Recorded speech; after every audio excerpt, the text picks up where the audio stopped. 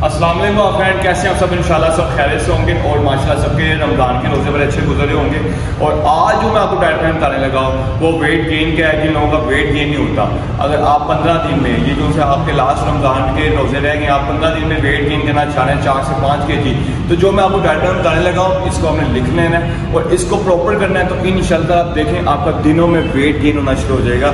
और इससे पहले आप हमारे चैनल को लाइक करें सब्सक्राइब करें और आगे से आगे शेयर किया करें, ताकि लोगों को पता लगे कि डाइट में क्या लेना है वर्कआउट में क्या लेना है। हाँ। और एक और बात आप अक्सर पूछते हैं कि आसिफ भाई हमें चेस्ट का वर्कआउट बता दें बाइसेप का बता दें थाइस का बता दें बैली कम करना उसका वेट का वेट उसका डाइट में बता दें या वेट उसके एक्सरसाइज बता दें तो ऑल एक्सरसाइज जितनी भी एक्सरसाइज हैं वेट लूज की हैं वेट गेन की हैं या कोई भी वर्कआउट है या कोई भी डाइट है तो इसी चैनल पे मैंने मेंशन किया हुआ इसी चैनल पे मैंने पोस्ट किया हुआ आप प्लीज़ वीडियो देख लिया करें और ज़्यादा से ज़्यादा आप शेयर करें। और अब मैं जो आपको डाइट प्लान बताने लगा इन ताला आपके जो रमज़ान के पंद्रह रोज़े हैं तो इन शाला इसमें आपका चार से पाँच के जी वेट गेन होगा। और डाइट में आपने क्या लेना है? शहरी में जब आप तीन बजे उठते हैं, ठीक है? अक्सर तो आजकल लोग सो ही नहीं रहे सैरी के टाइम तक भी। तो शहरी में आपने एक पराठा लेना है, देसी घी में बना हुआ, ठीक है? और चार अंडों की सफेदी ले लेनी है, और उसको मक्खन में बनाना है आपने, ठीक है? और तीन बजे आपने ये नाश्ते में ये इस्तेमाल करना है। और जब रोज़ा बंद होने लगे तो आपके पास दो ऑप्शन हैं। या तो आप दलिया, दूध और शहद में बना के इस्तेमाल करें। अगर आपके पास टाइम नहीं, आप नहीं कर सकते तो आपने तरबूज का इस्तेमाल करना है, ठीक है? तरबूज का जब इस्तेमाल करेंगे तो आपको सारा दिन में प्यास भी नहीं लगेगी। आपकी बॉडी को तलो ताज़ा रखेगा तोानाई देगा, ताकत देगा। और तरबूज के इतने फ़ायदे हैं कि मैं आपको बताऊँ तो पूरी वीडियो जो उनसे इतनी लंबी बन जाए। हाँ और आप तारी में आपने क्या करना है? आपने चार खजूर लेनी है और चार केले लेने हैं और डेढ़ गिलास दूध का। आपने इसका मिल्क शेक बनाना है। और मिल्क शेक इस्तेमाल करना है अफ्तारी के टाइम पे। अगर आप कहते हैं कि हमारे पास इतना टाइम नहीं है और ये हम मिल्क शेक वगैरह नहीं पी सकते तो अक्सर मसले मसाइल होते हैं तो फ्रूट चाट जो सी मार्केट से मिलती है आपको हर घर में, हालाँकि आजकल तो हर घर में माशाल्लाह बनती है। फ्रूट चाट तो हमारे घर में भी बहुत ज़्यादा बन रही है और आजकल मैं प्रेस कर रहा हूँ पूरा फ्रूट चाट पर क्योंकि डाइट पर रहता हूँ तो ऐसी चीज़ें नहीं खाता।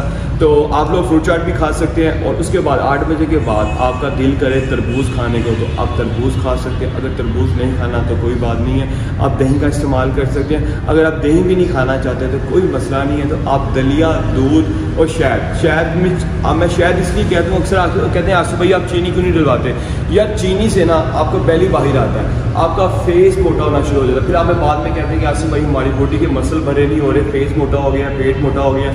इसलिए मैं चीनी नहीं खिलवाता। इसलिए मैं कोशिश करता हूँ कि मैं, आप मिल्क शेक भी बना रहे हैं तो उसमें चीनी ना ऐड करें। शक्कर डाल लें, शक्कर का इस्तेमाल कर लें। शक्कर आपकी बॉडी के लिए बड़ी अच्छी होती है और बड़ी पावर देती है, ताकतवर होती है। और रात खाने में आप 300 ग्राम चिकन लें। अगर आप चिकन नहीं खाते तो आप 300 ग्राम मटन ले लें। अगर आप मटन भी नहीं खाते तो 300 ग्राम बीफ ले लें। अगर आप ये भी नहीं खाते, होता ना कि हाँ आसिफ भाई अक्सर कहते हैं कि, आसिफ भाई, हमारे इतने हालात नहीं है तो हम इतनी ज़्यादा महँगी अफोर्ड नहीं कर सकते डाइट तो कोई मसला नहीं, मेरी जान।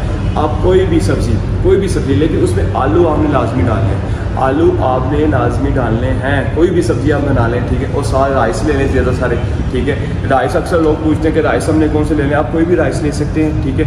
अगर राइस में आलू अक्सर देखा तो आलू वाले राइस भी बनते हैं। अगर आप आलू वाले राइस या सब्ज़ियाँ मिक्स करके जो से होते हैं चाइनीज़ जो राइस होते हैं, आप अगर वो इस्तेमाल करना चाहते हैं तो वो भी इस्तेमाल कर सकते हैं। और साथ आपने सलाद लाजमी इस्तेमाल करनी है, क्योंकि रमज़ान में रोज़े रख रहे हैं तो आप में विटामिन की बड़ी कमी हो जाती है, ठीक है? और साथ साथ आपने पानी का इस्तेमाल बहुत ज़्यादा करना है। अक्सर मैं जब कहता ना, पाँच से छः लीटर पानी पिए तो अक्सर लोगों के मैसेज आते हैं कि, आसिफ भाई के चार से पाँच लीटर छः लीटर पानी कैसे पी सकते हैं? अब जब आज आस्ता आस्ता आदत डालेंगे ना तो इन ताला आपको आदत पड़ जाएगी। आप जितना ज़्यादा पानी पिएँगे ना, आपकी बॉडी उतनी अच्छी होती है। आपके किडनीज डैमेज नहीं होते, आपको डायबिटीज़ नहीं होती। आपका जो बॉडी में ब्लड होता है, वो सर्कुलेशन करता है हंड्रेड परसेंट करता है। और हंड्रेड में से सेवेंटी फाइव परसेंट आपकी बॉडी में से बीमारियाँ पानी ही खत्म करता है। तो इसलिए पानी का इस्तेमाल बहुत ज़्यादा किया करें। और अक्सर एक्सरसाइज का भी बोलते हैं आसिफ भाई एक्सरसाइज का टाइम क्या रखें? एक्सरसाइज का कोई टाइम नहीं होता, जब आपका दिल करे। मैं, मैंने पूरी लाइफ में, मेरा जब दिल किया, सुबह दिल किया, मैं सुबह ट्रेनिंग की, दोपहर को दिल किया, दोपहर को कर लिया, चार को चार बजे किया, पाँच बजे किया, रात को नौ बजे किया, बारह बजे जब आपका दिल करे, क्योंकि ये काम दिल का है। आप डाइट भी दिल से लेनी है। अक्सर लोग होते हैं कि अक्सर आसिफ भाई, हम डाइट लेते हैं या लेकिन लगती नहीं है। वो इसलिए नहीं लगती, आप सोचते ज़्यादा हैं, टेंशन में ज़्यादा रहते हैं, या चिड़चिड़ापन रहता है आप में, आप किसी चीज़ को लेके अपने आप को, वो कहते हैं ना, जैसे लकड़ी में धिमक लग जाती है। इसी तरह आप लोगों पर धिमक लगाई होती है, आप इन चीज़ों से बाहर निकलें। खुश रहा करें, ठीक है? अपनी सेहत का ख्याल करें और रात में मैंने आपको खाने का बता दिया और इसके बाद अगर आपका दिल कर रहा है खाने पीने को तो आप सेब का मिल्क शेक इस्तेमाल कर सकते हैं। अगर सेब का मिल्क शेक इस्तेमाल नहीं करना चाहते हैं तो कोई बात नहीं, आप बीज का जूस पी सकते हैं। अगर आप वो भी नहीं करना चाहते तो दही, आप 300 ग्राम दही ले लें, हाफ़ ग्लास पानी का। ठीक है? उसको मिक्स करके थोड़ी सी शक्कर डाल लें। अगर शक्कर नहीं डालनी तो फिर आप चीनी डाल लें अक्सर होता है हम आपसे भाई नहीं खाई जाती हमसे। तो आप इसमें चीनी डाल लें, ठीक है? और इसी तरह प्रॉपर जो मैंने आपको डाइट बताया इन शाला आपने करना है। और इन शाला आपने देखना, रमज़ान के जो जैसे लास्ट दिन रह गए ना, ये पंद्रह दिन रह गए इन शाला आपका चार से पाँच के जी वेट गेन होगा और आप ईद अल दिन फिट फिट नज़र आएँगे और आपके कपड़े भी आपको बड़े फिट होंगे और माशाल्लाह बड़े खूबसूरत लगेंगे।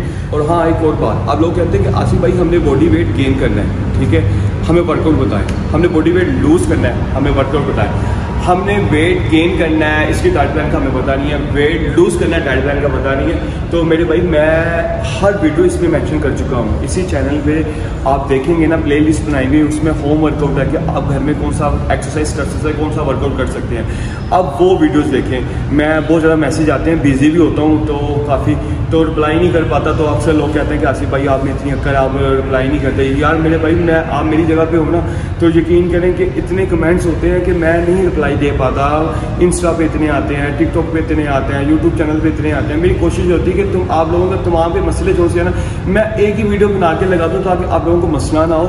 आप थोड़ी सी वीडियो में थोड़ी सा ऊपर नीचे देख लिया करें। मैंने अभी थोड़े दिन पहले, दो दिन पहले वेट लूज़ की डाइट प्लान बताई है, ठीक है? पर जब मैं वेट गेन की डाइट प्लान लगाऊँगा तो साथ ही लोग कहेंगे कि आसिफ भाई, आपने वेट उसका बताया नहीं है। थोड़ा सा नीचे देख लेंगे थोड़ा सा नीचे। और ऐप वर्कआउट आपकी सैट के जो पल्ले जो से ये वाले फ्रेंड जितना मर्ज़ी पहली बढ़ा हुआ है, मैंने वो भी वीडियो मैंशन की हुई है। आप वो वीडियो देखें इन आपको दिनों में रिज़ल्ट मिलेगा। और यकीन करें आज तक मैंने जो आपको डाइट प्लान बताया है जो आपको एक्सरसाइज बताई है, मेरी लाइफ का, मैं रमज़ान में हूँ रोज़े में, मैं वही डाइट प्लान लेता हूँ और वही ट्रेनिंग करता हूँ और वही एक्सरसाइज करता हूँ। मैंने कभी आज तक कोई गलत ट्रेनिंग या किसी किस्म की कोई ऐसी, वैसी कोई होता ना कि जब इंसान की बॉडी बन जाती है तो वो गलत सेट भी लगाता है ना तो उसके मसल नज़र आते हैं। तो मैंने वो भी आपको गाइड नहीं किया, कभी गलत कोई एंगल गाइड नहीं किया। हमारे जो बड़े थे, मेरे जो टीचर हैं, वो शेफ और मिस्टर पाकिस्तान है, उन्होंने जो मुझे ट्रेनिंग बताई नहीं है, उन्होंने जो डाइट प्लान बताया है, मैं इन आप लोगों के साथ वही शेयर करता हूँ। और दुआओं में अपने भाई को लाजमी याद मैं आप लोगों को, आप लोगों की दुआओं का बहुत बहुत बहुत सिला मुझे मिल रहा है कि अल्लाह ताला ने बहुत ज़्यादा इज़्ज़त दी है।